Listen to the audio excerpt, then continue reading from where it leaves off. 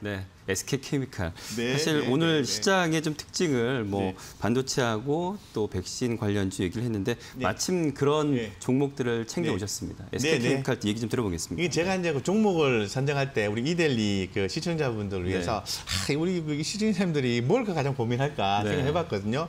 아 SK 바이오사이언스 올라서 다 좋다고 하는데 나는 그 SK 바이오사이언스에서 지분을 64%를 들고 있는 음. SK 케미칼 들고 있는데 안 올라가. 그래서 기분이 너무 안 좋은 거예요. 그래서 그런 분들을 위해서 좀 들고 왔는데요. 네, 네.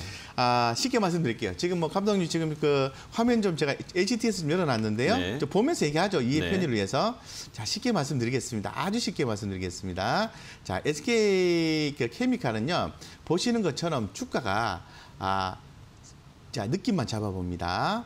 아주 뭐 그냥 기가 막히게 빠져 있습니다. 음. 그죠? 그래서 한 번 또 이렇게 상방 흐름 주다가 또 빠지고 네. 지금 요 정도 상태인데요. 싸다.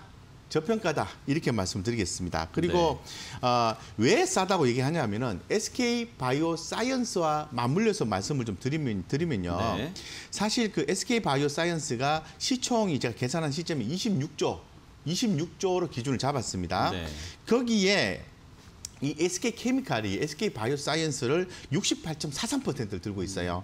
그럼 그거를 딱 계산을 해보면 17조 8천억이에요. 음, 예, 17조 8천억이란 말이죠.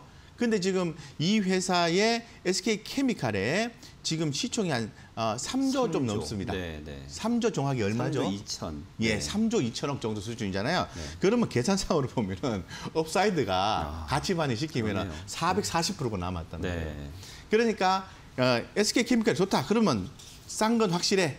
됐고 그러면 SK 케미칼이 올라갈 수 있느냐라는 부분을 봐야 되는데 음. 그렇죠. 그러면 SK 케미칼 자체로서의 에, 성장성 여부를 좀 판단을 좀 해봐야 되겠죠. 네. 에, 쉽게 말씀드려서 성장성 있다 이렇게 좀 말씀을 좀 드리겠습니다. 그래서 네.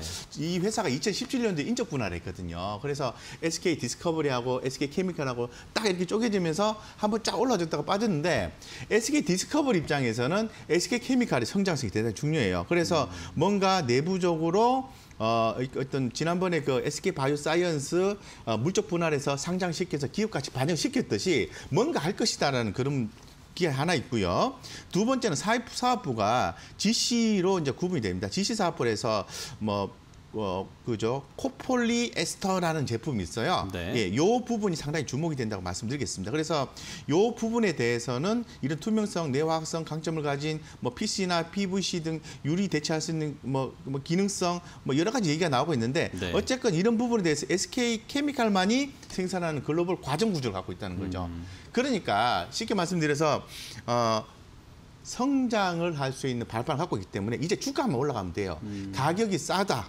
가격이 싸니까 저평가다. 자, SK 바이오산스 올라가면 가치 반영이 돼서 더 올라갈 거고 어, 가치 반영이 시간을 두고 한다면은 언젠가는 SK 케미칼은 큰 폭의 상승이 있을 가능성이 대단히 높다고 말씀드렸습니다. 네. 자, 따라서 SK 케미칼이 염려 안 하시고 보유하셔도 되겠습니다. 더 사셔도 되지 않을까 싶습니다. 네. 제 생각에.